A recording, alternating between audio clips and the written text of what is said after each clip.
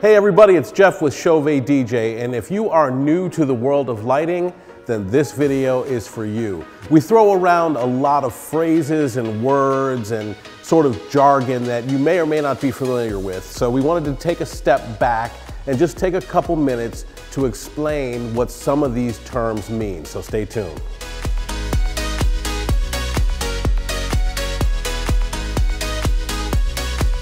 Wash lighting. Just as the name suggests, you are washing a surface with color or light. It's usually a static effect, but it can be a slow fade or some other movement. And the important thing to remember about all these terms is that one lighting product can do multiple things. So you could use a wash lighting product for other things as well. Now, one of the terms that lighting beginners probably have heard a lot about because it's very popular is uplighting. And again, pretty self-explanatory. You are throwing light up on a surface. So you may have seen beams of light across a special event space that really gives that space some personality, some warmth, customizes it for your event. And uplighting can also include downlighting as well. Essentially, you're putting a lighting product up against a surface and it's shooting its beam up the wall or up the surface or down to create sort of a dynamic, almost lighting architecture in the room that can really warm that space. Another popular lighting option is accent lighting or pin spotting. Essentially what you're doing is you're highlighting a feature in a special event space. Could be a wedding cake, it could be a uh, sweetheart table, it could be floral arrangements and centerpieces on the individual guest tables. But essentially there's a number of products that are designed to throw a sharp beam down to a specific focused area to draw the visual attention to that space.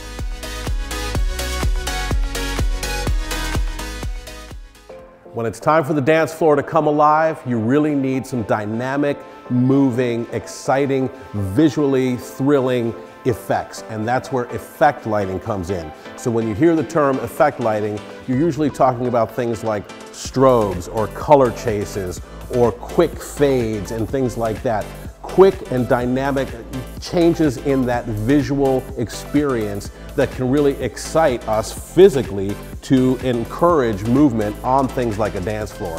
Effect lighting is a must for parties. Now, some examples of effect lighting include derbies or Kintas or strobes, anything that flashes and moves and really creates that exciting dynamic experience. That's the effect lighting for your dance floor.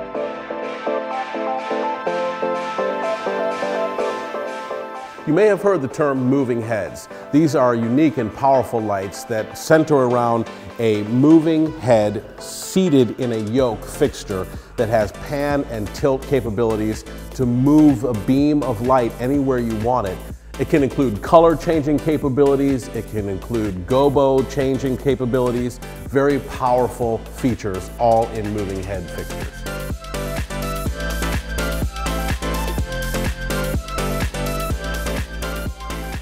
Another very popular feature and one you might have heard about is gobos. What is a gobo? G-O-B-O. Well, it's actually an acronym that stands for Goes Before Optics. Now, we don't have to get into the technicalities of that, but a gobo is essentially a silhouette which can be etched in steel or glass or even plastic that when light is projected through it, it projects that silhouette or that shape onto a surface. Great for customized monograms, corporate events, weddings, things like that, because the array of gobo possibilities is endless.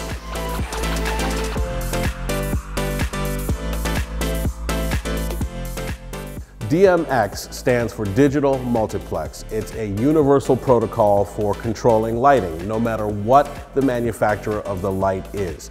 There was a time when each manufacturer had their own unique protocol to control their lights. It was cumbersome and confusing. Digital Multiplex or DMX solved that problem and now it is the standard universal protocol to control LED lighting.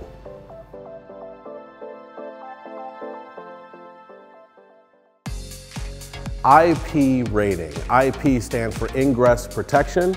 Essentially, it means a light is weatherproof. Now, there are different levels of IP ratings. depending on whether it's just sort of water resistant or whether things can actually be submerged and things like that. But essentially, it takes a light and it makes it resistant to things like water and mud and dirt and dust.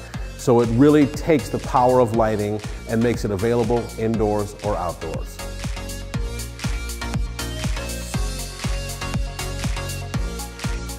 So great lighting really takes on a life of its own when it has some particles in the air.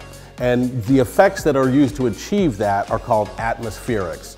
These fall into the categories of fog machines, haze machines, low-lying haze machines, anything that sort of creates a, a, sort of an atmosphere and particles where you can see beams of light really come alive in a space.